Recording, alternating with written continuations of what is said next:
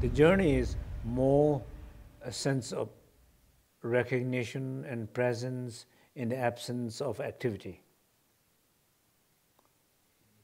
Got to be there, right?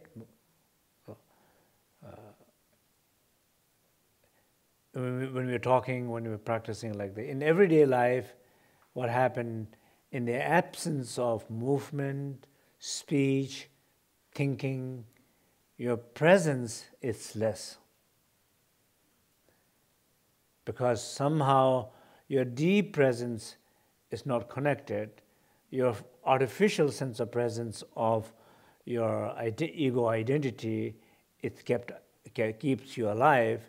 And when that that goes down you begin to feel you're dying some sense of dying. And then you immediately feel you have to keep it up with it